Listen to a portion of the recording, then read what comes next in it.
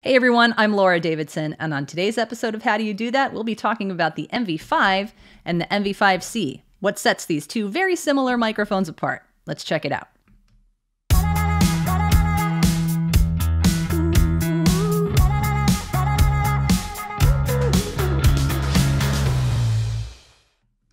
So, at first glance, admittedly, these microphones look very similar aside from the color. Even the back of the microphones is the same. But when you look a little bit closer, you'll see that there are some key differences that set these two apart. So, let's dive in.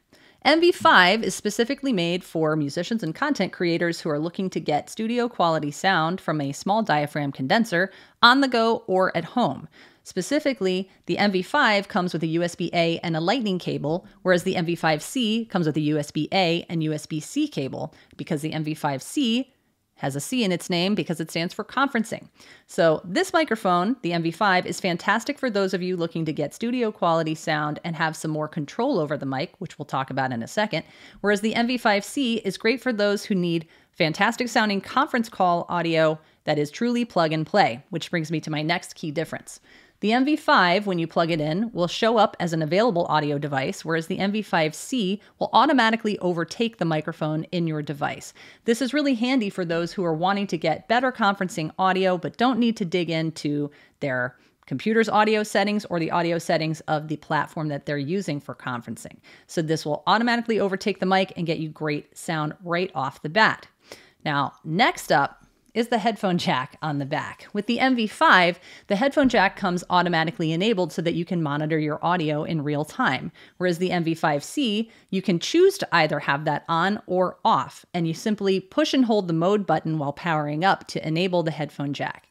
And that's beneficial if you're on a conference call and you want to hear yourself speaking as well as the others speaking on the conference call within your set of headphones. But if you decide that you just want to have your speech captured by the mic and hear your audio come back through your speakers, that's fine as well. And that's what it's set to as default.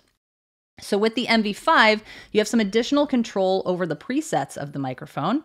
So there are some presets gauged towards speech and also towards instrument mode. So you can do that simply by plugging in the microphone. It will prompt you to download the Shure Plus MOTIV app where you can control and have some different parameters to work with. So, in summary, if you are a content creator who needs to use a microphone on the go or have it at home and also have the option of using an iOS device, the MV5 is going to be a great option for you.